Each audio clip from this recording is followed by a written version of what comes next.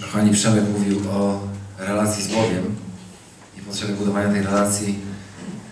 Mnie Artur poprosił, żebym powiedział, e, jak ja rozumiem w ogóle relacje, relacje w Kościele i posłużę się takim przykładem ze swojego życia. Wiecie, ja kiedyś tak myślałem, jeśli chodzi o wychowanie moich dzieci, że kiedy ja będę zarabiał dużo kasy, kiedy ja poślę ich do dobrej szkoły, za dobre pieniądze, o dobrej opinii, to ja mam temat załatwiony. I takie funkcjonowanie i takie myślenie doprowadziło mnie do takiego miejsca, że byłem papierowym ojcem, a później papierowym mężem. Bo tak samo to wyglądało. Ja wyda wydawało mi się, że jeśli ja zrobię coś z zewnątrz, jeśli coś zorganizuję i, i coś zapewnię, to to odniesie sukces. Wiecie, byłem w ogromnym błędzie. Dzisiaj to rozumiem na, na każdym pułapie. I Artur przed spotkaniem powiedział, powiedział takie jedno zdanie, że małżeństwo bez życia w tej dwójce ludzi jest martwe. Wiecie, dzisiaj zaczynam rozumieć, praktycznie rozumieć, że Kościół bez relacji też jest martwy. Bo to życie jest w nas. My jesteśmy tym Kościołem. Wiecie, ja w ogóle uczę się tych rzeczy. Powiem Wam, że jakiś czas temu doszliśmy do tego z żoną, że w ogóle nie wystarcza nam spotykanie się w środę i w niedzielę, że w ogóle ma, mało. Nie wiem, nie, nie potrafię tego nazwać, tak? Chcemy więcej.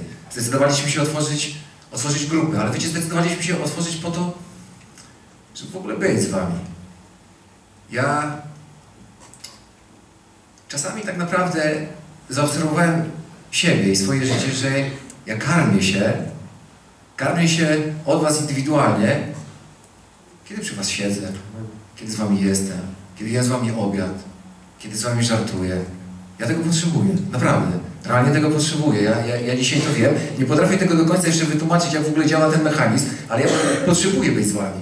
Wiecie co? I to widzę w ogóle, że e, tylko w ten sposób dociera do mnie życie i ja uwalniam życie. Wpływa to na te wszystkie pułapy, które powiedziałem. Ja uważam, że w ogóle nigdy między mną a moją żoną nie było lepszego czasu, chociaż mamy go teoretycznie najmniej, również dla siebie.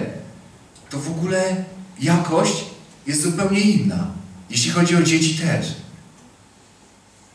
I wiecie, ja tak rozumiem, że Jezus powołał uczniów, aby z Nim byli. On zamieszkał w nas. I On nas posyła. I ja wierzę, że posyła nas do tego, abyśmy byli. I, i ja e, chciałem wam powiedzieć, że moje życie jest otwarte dla Was. Ja Was zapraszam. Jak wiecie, kiedyś funkcjonowałem w maskach i dlatego nie lubiłem być ludźmi. Bo się męczyłem. Bo albo przez jakiś czas poszukiwałem akceptacji, a później chciałem się schować. Bo nie dasz rady ciągle chodzić w masce, ciągle, kogoś udawać. Dzisiaj naprawdę e, jestem świadomy tych słów, które mówię i zapraszam Was do mojego życia. Amen. Amen. Amen. Wiecie, to są, zobaczyli, jak rzeczy ze sobą korespondują, jak, jak one są ważne, żeby być razem. Wiecie, czemu ludzie nie, nie chcą być razem? To się do tego, różne rzeczy się mówi. Nie mamy czasu, nie mamy coś, to jest nieprawda. Rozumiesz? To jest nieprawda, że nie mamy czasu. Ja mam bardzo e, wielki szacunek do czasu. Ja osobiście. Wiecie, kiedyś przez dwa lata na lodówce u mnie w domu wisiał grafik i na tym grafiku były zaznaczone spotkania z żoną. W naszym mieszkaniu. My razem mieszkamy. Wiecie, jak, jak pierwszy kościół założyliśmy. To sobie napisałem grafik. Tak? Rozumiesz? Wiesz, to znaczy, że we własnym domu planujesz rozmowę z żoną, zorganizowanie 30 minut, aby usiąść razem i porozmawiać.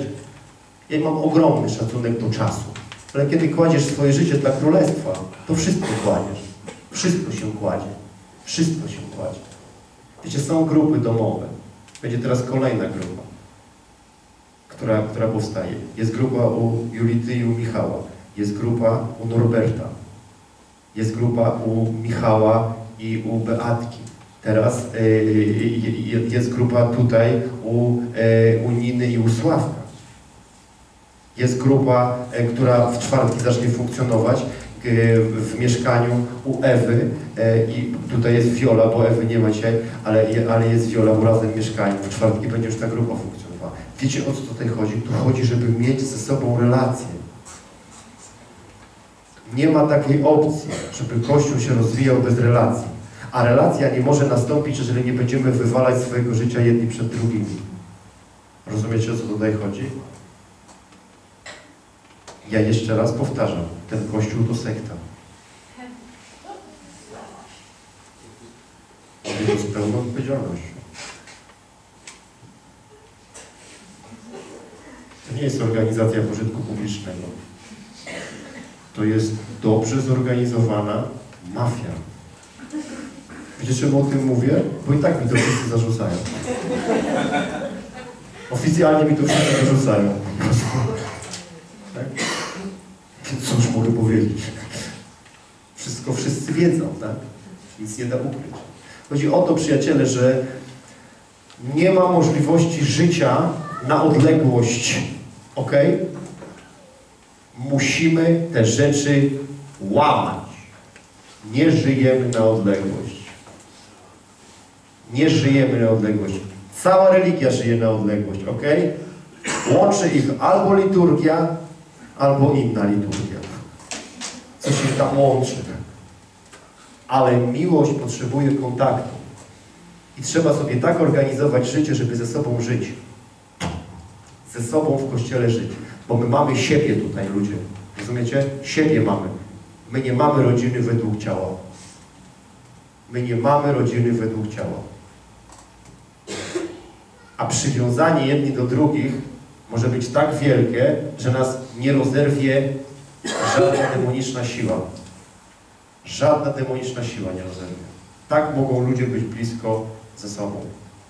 Wyświetlmy konto.